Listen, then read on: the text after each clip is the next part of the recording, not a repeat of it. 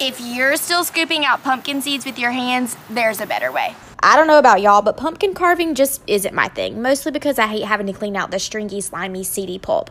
I found this hack that uses a mixer beater and an electric drill on the internet, and I had to try it out. Basically, you insert the beater into the drill like you would any other bit, and then go to town on the inside of the pumpkin, being sure to get the sides and edges. After about two minutes, all the pulp and seeds are loose and fall right out. I was shocked at this and actually looking forward to pumpkin carving this year.